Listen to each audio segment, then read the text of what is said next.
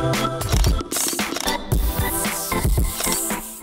Hi guys, I'm Shmee and for the last few days I've been driving around in the Tesla Model S P85D. It's the first time I've spent a significant amount of time with an electric car and what an eye-opener it has been. The amount of torque this thing has is truly insane. Quite literally is insane. If you put it in the insane mode and do a launch control, it's absolutely breathtaking. I've done a separate video showing you some full sort of in, more in-depth driving impressions with the car, but today is going to be all about getting it charged up. Of course, being full electric, no hybrid, no hybrid powertrain or internal generator or anything, there's no way to charge the batteries other than quite literally plugging it in. Now, the infrastructure in London is a little bit behind some of the other cities around the world hence why Teslas are a little bit later arriving here than we've had in other places, but they are starting to install a lot of supercharger locations, Tesla's own very fast high-speed locations, and one of which I'm going to try and find today. So that will be the way I'm going to be charging it up. You can, of course, also take the car plug it in in your garage. If you install a charging point in your garage, you can charge it up overnight and get the power back. Um, but given I've only got the car for a couple of days, that would have been a little bit extreme to go to quite those efforts to get one installed. And there are no power points in my garage, unfortunately, so I wasn't able to. Now, on a good run, you can actually get around 300 miles out of one of these Ferrari 360 just going past there. Um, so 300 miles is the typical range if you charge it to 100%. Realistically, you charge it up to about 80% each time to prolong the battery life. So you're going to get about 240 miles out of a tank. And I have to say, it hasn't been too bad. I've been quite close to the mark, quite close to the sort of expected range, but I haven't sat too much in traffic. And town usage hasn't been as bad as I thought it could be either. So that's been pretty good. Um, so like I said, there are a couple of different ways to charge it up. What I'm going to do now is jump inside and show you the navigation system that helps us make all of this a little bit easier. As we walk to the car, it opens itself. I don't think that will ever get boring. I love it so much. So, here we go. A couple of quick things. You can see the recent consumption. It gives you the sort of typical government claimed line and then your recent average. So you can see yesterday that was just cruising on a 50 mile per hour road, I think, and then this is the bit in London where you can see there's been a little bit more usage. So I've only got 33 miles range, which isn't the most in the world, and we're currently in Hyde Park, bang in the centre of London and everything is controlled. I'm going to show you in a separate piece through this massive central display and control system. We're sort of nicknaming it the uh, iPhone 10 Plus just because it's so big. It's like, put that up to your ear. Um, so what we're going to do now, in the navigation, you can set that to go full screen to make this a little bit easier. He says, there we go. Um, if we go places, brings up a list of superchargers. So this is all the superchargers um, and obviously the car's connected, so this is an updated downloaded list through um, a data connection. Um, obviously normal navigation stuff is in recents, but you can see we've got a couple around here, not too many miles away in central London. You know, these are all, I think the most central one is the top one, which is where we're going to go, the Westfield Shopping Centre and the middle car park, so we'll aim for that, which is only 2.2 miles away. But one of the fun things I really like is if you set this navigation for a long distance, like if you set it to drive you, um, and maybe I'll try this actually because we did it once before, so it will be in the recents. Let's just set it to this place in uh, somewhere in France, 400 miles away. Um, just for sheer giggles and see what it does. Now what it's doing is finding superchargers, so it's going to give us a route to that destination that takes into account the fact um, that it's going to have to charge up and stop on the way. Um, in theory, if it uh, wants to give us that. Here we go. So it's telling us the first place we need to go is Canary Wharf because we don't have much range. Canary Wharf is in the east of London, so that's on the way towards the Channel Tunnel. So it's going to give us um, that destination, and then it will work out the next one we have to go to eventually after that. It's all based on 3G. Maybe my signal here is a little bit weak, which is why it's taking a while to um, think about this. Um, so it'll go from there, um, and then when we get there, it'll take us to the next one, Although I thought maybe it would tell us all of the whole route we had to take now. But I guess because we're so low on power, it's just taking us there to start. But I'm not going to do that. I'm going to just set it straight to the nearest one because that's where I want to go um, to get rid of this uh, low power bar, um, which is up here. And there's a little version of what you have in the center of the main display. And I love that little navigation you have up there as well. Um, but we're going to go to the Westfield one which is not very far away at all from me here. 2.9 mile drive, 11 minutes. Uh, nope, 14 minutes. Apparently, there's probably some traffic or something, so it's recalculated. So I'm going to aim for that and go and get this car charged up. Just like I said in my full video, the thing that's getting me the most with this car is how unbelievably silent it is. I mean, I know I'm just sat still right now, but there are cars going past and you barely hear anything from them. It's truly, truly extraordinary. And as I pull away, obviously, nothing but the click of the indicator. Turn that off. And it's just the gentle whir as you accelerate. It's such, such a strange experience, but so cool anyway. I talked a little bit more about that. But one of the things it has is when you come to a sort of slow down, when you just lift off, it has a regeneration, so it's using the braking power and to charge the battery. And you can change the settings for the strength of that. So I think it's on the full normal mode at the moment. But uh, just little things to try and keep as much power as possible out of it. Well, I'm nearly there and I've got plenty of charge left. 30 miles range still to go, which in London 30 miles is enough to take you a very, very long way. Um, this is Westfield, the shopping centre, uh, which is a pretty massive place.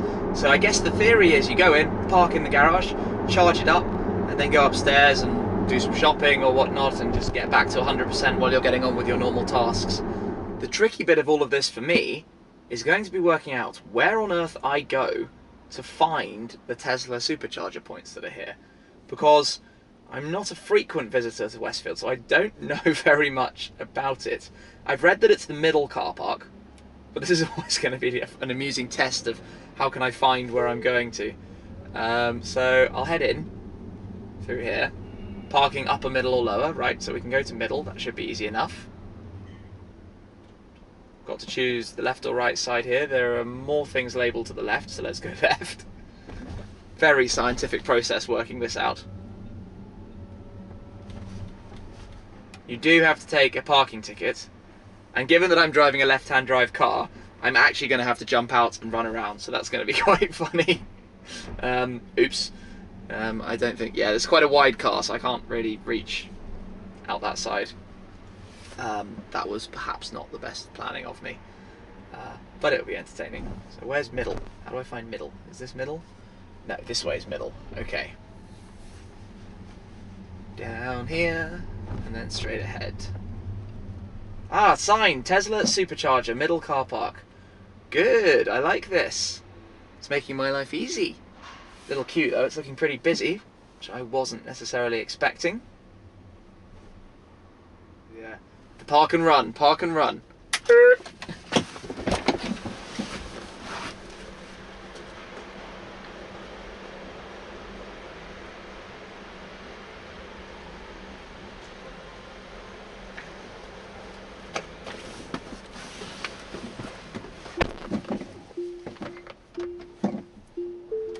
There we go.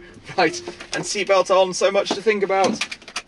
Okay, where do I go to find the supercharger? Follow it round. Are there signs? Is there anything telling me where to go? Am I being silly? Oh dear. Oh dear. Where do I go? Where are the Tesla plugs? Oh look, there's a rose gold. There's a rose gold Gallardo Performante down there. That's uh, unusual. Okay, well that was a, a good distraction to the valley area, um, but that's not helping me find the superchargers. That was all getting a little bit hopeless, so I stopped to ask somebody, and here we are. We've got the Tesla charging points, and there are surprisingly a large number of cars here. I wasn't necessarily expecting so many. Now, for the supercharger, you have to park in reverse, but you do have this fantastic high resolution um, rear camera to do so. And the reason for that is because the charging point is at the back of the car, and the um, cable is built into the machine so you don't actually have to use anything. So let's park it up like that, then stop the car, you literally stop, let's jump out and have a look. This is all totally new to me, but this is a Tesla Supercharger. And the main point of this is that you can get 50% of your charge back in 20 minutes, or you can get 80% of your charge back in 40 minutes. So it charges the thing pretty quickly. Charge points back here but I'm just going to open the boot for a second. If you weren't here at a supercharger, whereby you can just take this out and plug it in, um, the car has various other cables because there are different types of charging points. Uh, sorry, I've just realised it's spectacularly dark down here, so I'll lift these out. But you have these other cables depending where you are to charge up your car, and then this one. And um, you sign up and get sort of a membership to um, the different charging stations. So I've got the cards for those as well. Um, I've got to work out how to do this because I've never done it I've not looked at the instructions. How do you open the charge point? Maybe that's inside the door somewhere. So open it up. I feel like that would be here. No, I'm now the one who's walking around looking like an idiot. How do you open this? It's here somewhere. It's this. Um, something on the key. There we go. Intuition. Press and hold the boot button. Didn't even know that. That was literally just having a go. Okay. Well done, Tesla. Right, so now what do you do, literally, is just take this, which is a pretty beefy cable, um, make sure it's the right way up, and plug that in there. That it? Yep, heard it lock. Starts flashing green, I guess that means it's charging. We've got some flashing going on here as well. Presumably, that is now this car on the charge. And now I would go and spend some time chilling around upstairs, getting on with whatever I need to do while the car charges up along this line of other Teslas. I like the blue one a lot. Another Dutch car. I wonder if that's a press one too, over here. That's nice. Very nice colour. Um, and that's how that process works. That was actually, apart from finding it, that was the tricky bit, getting here and uh, finding this place in the shopping centre. But normally they would be outside dealers or somewhere a little bit more obvious or the side of the road in a car park or something. And this place, Westfield, is a massive maze. So apart from finding it, that was really easy. Now it's uh, quarter to four. I can let it charge up and come back. I don't need too much juice, maybe 50% will do, and come back in 20 minutes and uh, drive it away. Before I leave the car, I notice it gives you a nice big display that you can see from the outside showing the charge and showing how much you've got left. So it's an hour to get back up to the percentage that this car is set to. Uh, and if you open the door, the dials change. Ah, let's put it on the central screen. So you can set the charge limit and set whether it charges up to 80% or all the way up to 100, um, depending what usage you want.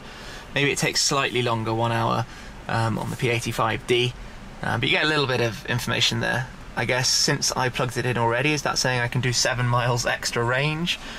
Um, 42 miles total. Yeah, I think that's what's going on. You can watch it counting up. That's kind of cool. This is all going just as quickly as they say it is, and I've been here now for about 20 minutes. And if I come around and show you on the screen, we've got 154 miles range now, and over 50% of the charge um, is in. So that's well 20 minutes to get that first sort of 50% mark, and then it sort of takes a little bit longer to fill it up from there. This is 30 minutes to full, so I guess it's another 20 minutes to get to 80%. Well, less than 20 minutes um, to get to 80%, but that's enough for me from where I'm going now back to the Tesla dealership. I'm not going too far, so I can literally just unplug this, which you do by pressing the button and pulling it out, and the lights flash blue. And I guess that knows, lets you know it's done. Plug this back into the supercharger point, um, which you do. Oh, it must be magnetic. Just balances in there. Close that up, and that's now, I guess, locked with the car. Um, super easy. Some of the other Teslas have come and gone while I've been here. And I'm just gonna open the car. Did that with the key, so I'd been standing too close, so it didn't um, know to ask me. And then you would literally just jump in and drive off. Okay then, ready to go. All you do, foot on the brake, into drive, and away we go.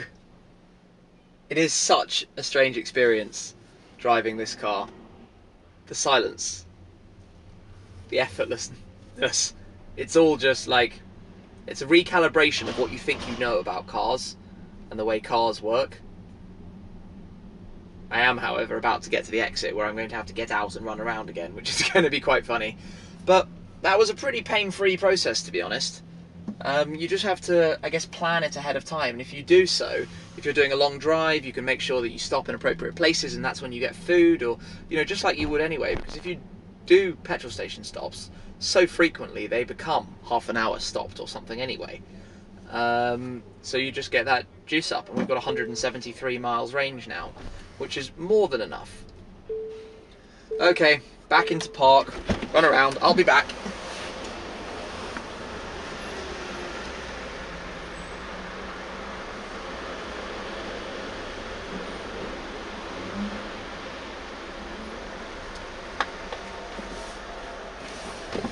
I don't feel even remotely stupid doing that. oh, I haven't shut the door. Into drive. oh dear. Not making life easy for myself, am I?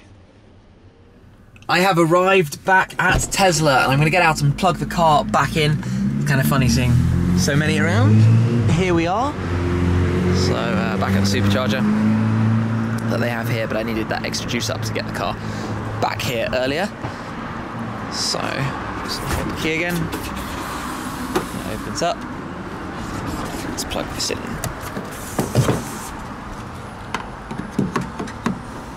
Work it out, there we go. And it's back on charge. So that's quite easy to do when you know what you're doing. It's been a lot of fun with this car. Really, really, really enjoyed the experience. First time for everything. So plugging it in, running a car that's fully electric, and the whole sort of feel of the massive amounts of torque that you get when you're driving with it. So kind of sad that I have to leave it here now, but it's been a lot of fun. So, well, there you go. You've seen how it works. Plugging a Tesla into the superchargers, of which there are quite a few around and about. And the car's pretty good at letting you know how to find them and make you get all the way along your journey without having too much trouble. So thank you very much for watching. Make sure you check out the other videos I've been sh shooting with the P85D, and I'll catch up with you again very soon. Cheers! The key itself is a very elegant little piece. It's a sort of model car, if you will. And as I walk up, what we're looking at here initially is just the the turn-on screen I've got set, which has these two. I'm going to be jumping on board the Delta Red 675 LT with Rob, my instructor.